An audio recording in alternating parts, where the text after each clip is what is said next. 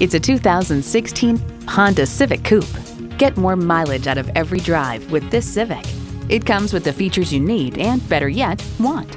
Streaming audio, doors and push-button start proximity key, manual tilting steering column, wireless phone connectivity, manual telescoping steering column, continuously variable automatic transmission, power sliding and tilting sunroof, gas pressurized shocks, and i4 engine. Car and Driver finds its design is sleek and fastback-like, with a large, severely raked greenhouse that no longer includes frumpy front quarter windows. Honda has a world-renowned reputation for reliability. They say a journey of a thousand miles begins with one step. Well, in this case, it begins with a test drive. Start your next adventure today.